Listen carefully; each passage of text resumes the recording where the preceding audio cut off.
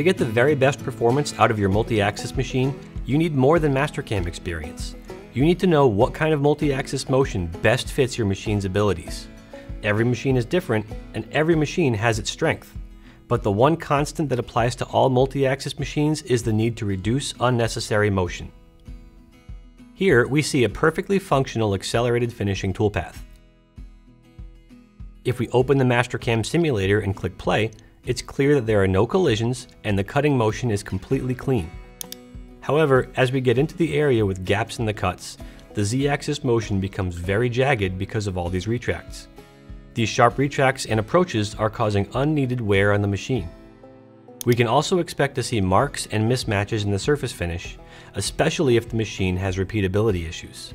What can we do to smooth this motion out? Back in Mastercam, let's make a copy of the original operation. Mastercam offers many ways to eliminate these retracts, but for this example, let's simply reselect the drive surface. Instead of using this face of the finished part model, choose the untrimmed surface on level 3 and regenerate. Right away, it's clear that the retract motion has been eliminated. If we open the simulator once again, we see that the machine motion is as smooth as possible. We can expect to see a much nicer surface finish on the part and a longer service life for our z-axis.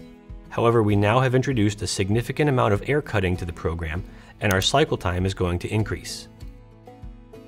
This is where feed control zones come into play. Feed control zones allow you to change the feed rate of an existing toolpath based on the tool's proximity to a chosen body. We can activate feed control zones on the Utility tab of our toolpath parameters. In the Feed Control Zone tab, let's choose the finished part as our geometry.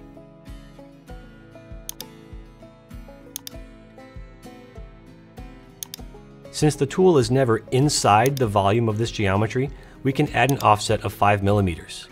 Anytime the tool is outside of this 5 millimeter offset window, the machine should move as fast as a feed-controlled move will allow. In this case, about 2500% of the current feed rate. Click OK to generate.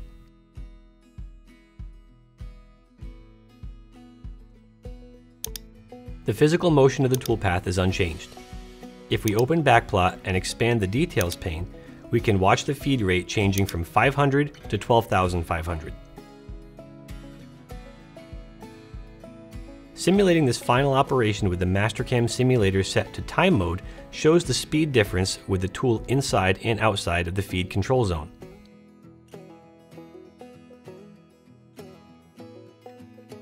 Feed control zones have existed in Mastercam for quite some time, but they are certainly underutilized.